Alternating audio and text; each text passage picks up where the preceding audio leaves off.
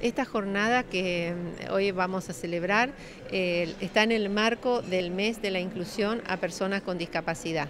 El Estado, el sector público, provincial en este caso, no quiere estar ajeno también al abordaje de la temática, pero eh, destinado a trabajadores públicos. Por eso hemos denominado esta jornada como de comunicación e inclusión a personas con discapacidad eh, dentro del ámbito del servicio público. Así que bueno, esta mañana somos tres áreas las que nos hemos coordinado.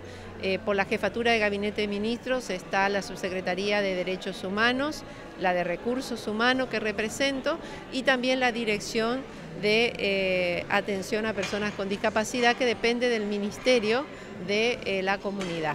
Así que vamos a estar abordando una temática que tiene que ver con este, lo que es la inclusión desde el punto de vista de los derechos humanos, también desde lo que es este, los acuerdos y las convenciones vinculadas a, lo que la Argentina tomó para respetar lo que es la inclusión a personas con discapacidad y también desde eh, lo que es el sector público, aquello que nuestros trabajadores de mesas de entradas y salidas deberían tener en cuenta a la hora de atender a personas con discapacidad. Desde la Subsecretaría de Derechos Humanos que abren la jornada eh, van a exponer eh, las licenciadas, las psicólogas del área psicológica de la Subsecretaría de Derechos Humanos y van a tratar precisamente esto, ¿no? la igualdad de derechos y también eh, lo que es discriminación, porque vuelvo a repetir, muchas veces discriminamos porque desconocemos o ignoramos las normativas que tenemos, las convenciones internacionales y también porque ante la, diferencia, eh, podemos eh, caer en esto, ¿no? De, discriminar porque no sabemos eh, tener un trato adecuado. en mi tema específico, ¿cuál es la diferenciación entre integración e inclusión?